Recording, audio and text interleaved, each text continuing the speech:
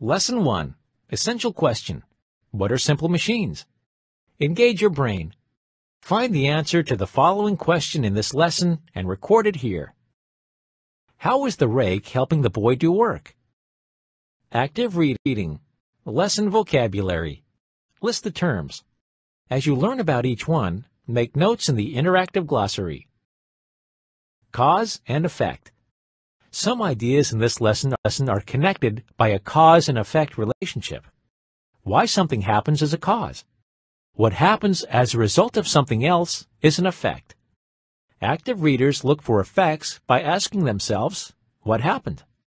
They look for causes by asking, why did it happen? How can we use simple machines? Digging a hole in the sand. Moving a wagon load of toys. Whew, these jobs are work. Simple machines are useful because they make work easier. Active reading.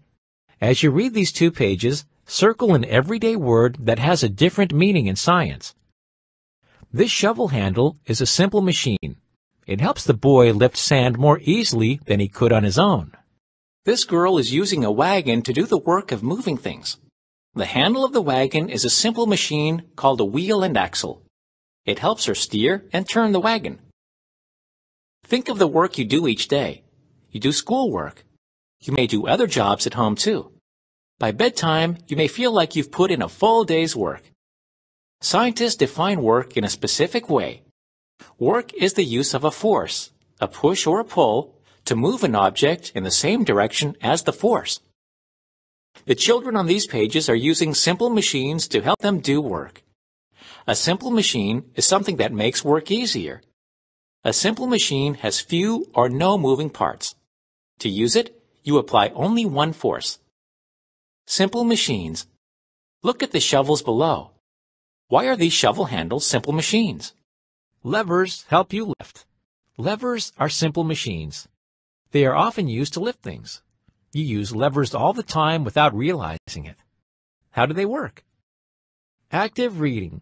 As you read these two pages, Find and underline the definitions of lever and fulcrum. A lever is a bar that pivots, or turns, on a fixed point. A fixed point is a point that doesn't move. The fixed point on a lever is called the fulcrum.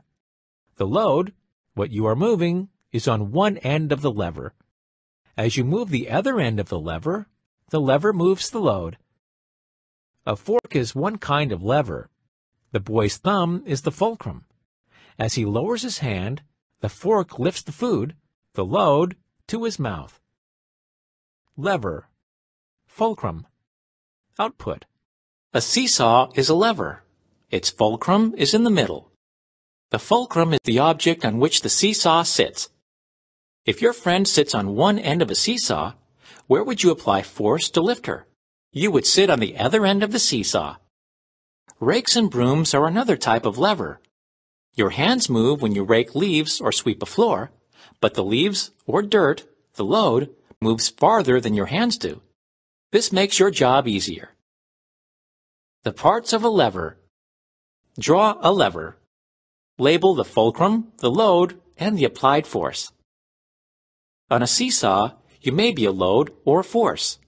When you are coming down, your weight is the applied force. It presses down on one end of the lever and the load on the other side goes up. Then you trade. You are the load being lifted and your partner's weight is the force. Using a wheel and axle. Some simple machines use circular motion to make work easier. Active reading. As you read these two pages, underline the phrases that describe the effect of turning each wheel and axle. A wheel and axle is made up of a wheel and an axle that are connected so that they turn together. A wheel and axle uses a circular motion to increase force. If you turn the wheel, the axle turns with greater force. Turning the handlebar is like turning the purple wheel. The connected axle turns to steer the front bicycle wheel. Look at the picture of the bicycle. The handlebars are connected to a shaft. Together, these act as a wheel and axle. When you turn the handlebars, the shaft, or axle, turns with it. Since the axle is connected to the front wheel, the wheel also turns.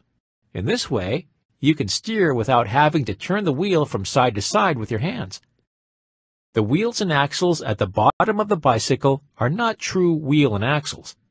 These wheels turn on their axles. The axles do not turn with the wheels. Another wheel and axle. A doorknob is another example of a wheel and axle. When you turn the knob, the axle turns too. As it does, it pulls back the catch and the door opens. Which part of the doorknob is the wheel? A pencil sharpener has a wheel and axle. When you turn the crank, the axle carries the movement to the sharpener. It turns to sharpen the pencil. Wheel, axle, pulley power, going up, coming down. You can use a simple machine, like a pulley, to lift a load straight up into the air. Active reading. As you read these two pages, find and underline the definition of pulley. A pulley is a wheel with a rope, cord, or chain around it. One end of the rope hangs on each side of the pulley. You can pull from the side, like the girls in the treehouse. The pulley is attached to the treehouse. One end of the rope is in the treehouse. The other end is attached to the basket. By pulling on the free end of the rope, the girls in the treehouse raise the basket to their level. Single pulley. Effort. Output. You can also pull from below, like the girl in the sailboat. She doesn't have to climb to the top of the pole to raise the sail. Instead, she simply pulls down on the rope. In both of these examples, the pulley changes the direction of the force that is applied to the rope.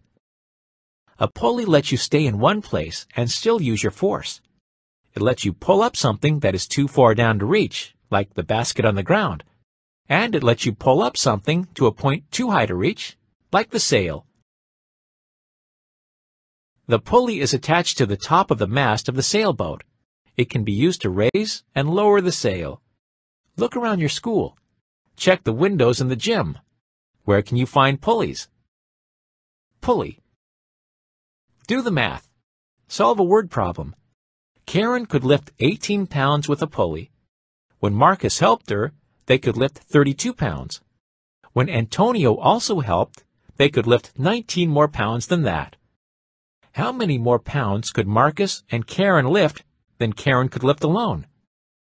How many pounds could the three children lift altogether? Sum it up. When you're done, use the answer key to check and revise your work. Write the term or terms that match each picture and caption. 1. This involves using force to move an object across a distance.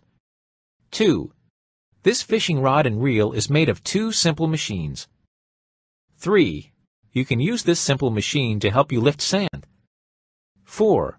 When you turn the doorknob, the latch opens. 5.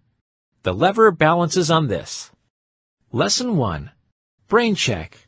Wordplay. 1. In each box, use vocabulary terms to describe the simple machines from this lesson. Simple machines. Pulley. Work. Lever. Wheel and axle. Fulcrum. Key lesson vocabulary. Apply concepts. 2. Make a list of simple machines in your school. Tell which type of simple machine each is. 3. Label each simple machine. Take it home. See Sciencesaurus for more information about simple machines.